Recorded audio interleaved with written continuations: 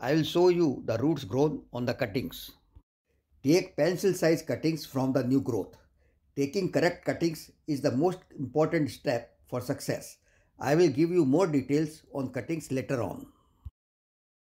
Remove lower leaves and any fruits and cut upper leaves into half.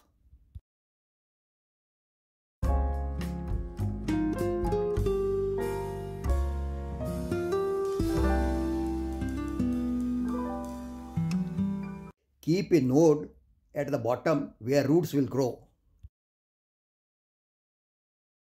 Wrap the cuttings in the wet newspaper while you carry them to your home or prepare for other things. Now prepare the rooting soil mixture. Mix some river sand in potting mix to make the soil free draining. Do not mix any manure or fertilizer as there are no roots.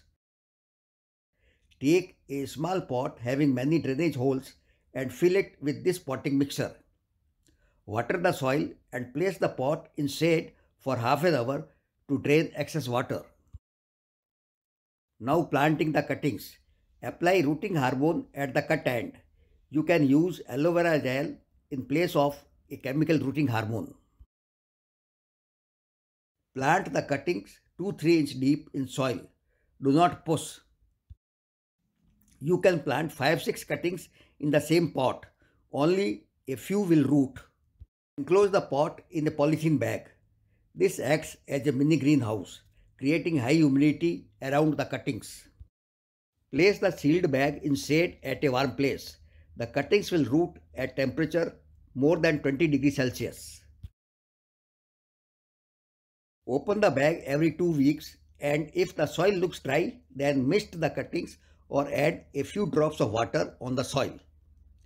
Remove any cuttings which has become black. Close the bag again and keep in shade.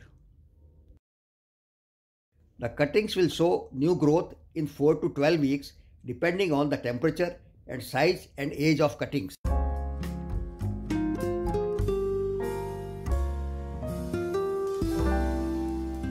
A strong thick root has emerged from the bottom hole.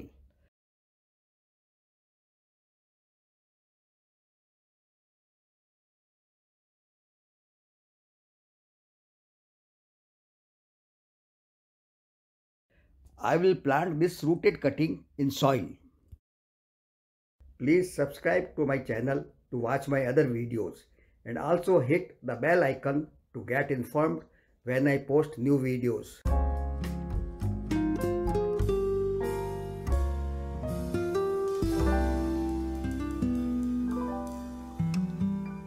Tips for success. Take cuttings in late summer or autumn. Take cuttings in the morning. Place the bag at a warm place away from direct sunlight. Too much water in the bag may rot the cuttings. Only a light misting is sufficient.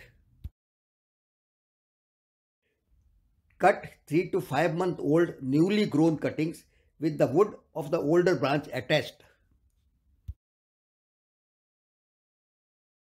Move the bag indoors if the temperature falls below 15 degrees Celsius. You can put it in an AC room away from direct airflow.